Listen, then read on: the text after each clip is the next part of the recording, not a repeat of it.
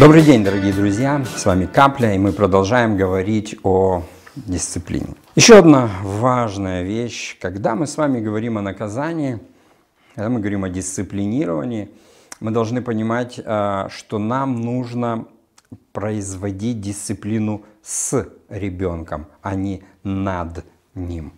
Этот подход, он очень радикально отличается один от другого. Когда мы дисциплинируем ребенка, то мы, как правило, либо манипулируем, то есть э, это шантаж, уговоры и так далее, либо это э, физическое наказание, либо это лишение там каких-то других вещей э, важных для него. Но вопрос состоит в том, что как только вы начинаете задумываться о том, что вы дисциплинируете производите дисциплину с ребенком, совместно с ним, вы начинаете во-первых, взаимодействие, а во-вторых, вы начинаете быть не просто агрессором, который ограничивает и пытается эти ограничения ну, как бы придерживаться, вы становитесь тем человеком, который созидает. Вам просто необходимо будет объяснять, зачем это нужно. А, почему мы начертили именно эти рамки? А, для чего нужно, чтобы ты не переходил вот эту границу? В нашей семье есть правило. Мои дети не могут встречаться с другими, э, там, допустим, моя дочь не может встречаться с каким-то парнем, или мой сын не может встречаться с какой-то девушкой без моего разрешения или одобрения. Вы можете сказать, что это достаточно жестко, и может быть это так и есть, но у нас есть это правило. И однажды кто-то из детей задал мне вопрос, а зачем это надо? Ты хочешь контролировать всю мою жизнь? Нет. Я не хочу контролировать всю свою жизнь. Я хочу в данный момент контролировать только некоторые области твоей жизни, которые мне представляются наиболее опасными. Сфера а, романтических отношений – это самая опасная сфера. Мозг отключается, принимаются неадекватные решения, а, совершаются какие-то дикие поступки зачастую. Ну, кто-то, может, вспоминает о них с улыбкой, а кто-то со слезами – вот знаете, есть вещи, в которых ошибки будут наиболее э, трагическими э, в своих последствиях.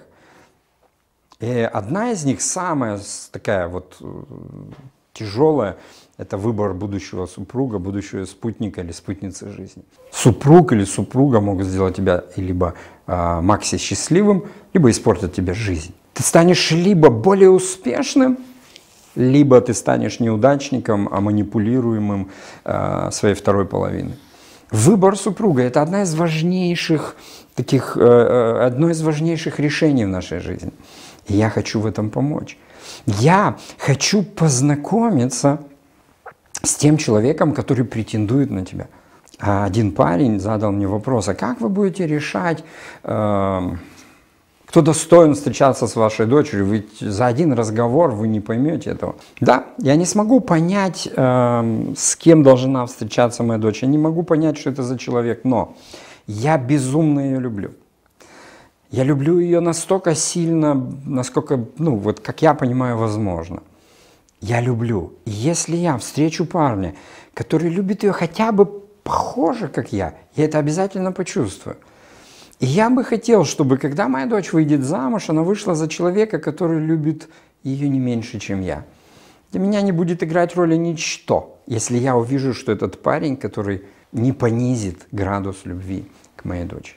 И поэтому я хочу с ним познакомиться. Поэтому мне нужно э, перед тем, как что-то начнет происходить, перед тем, как романтика закружит ее голову, встретиться и здраво посмотреть на этого человека. Он любит ее или он ее просто хочет. Поэтому когда ты дисциплинируешь ребенка, ты просто его ограничиваешь и наказываешь. Когда ты производишь совместную дисциплину, ты объясняешь, почему это необходимо. Я вам скажу, что дети способны понять твои мотивы, даже если ты сам не до конца их понимаешь. Я намеренно привел примеры из жизни взрослых детей, потому что это наиболее сложно э, в осознании. С маленькими детьми проще в осознании, но нам труднее им объяснить, зачем мы их наказываем если это ну, не о простых вещах, там не суй пальцы в розетку. Итак, поменяете ваше отношение к дисциплине, дисциплина над ребенком, на дисциплину совместно с ним. И это принесет свои плоды.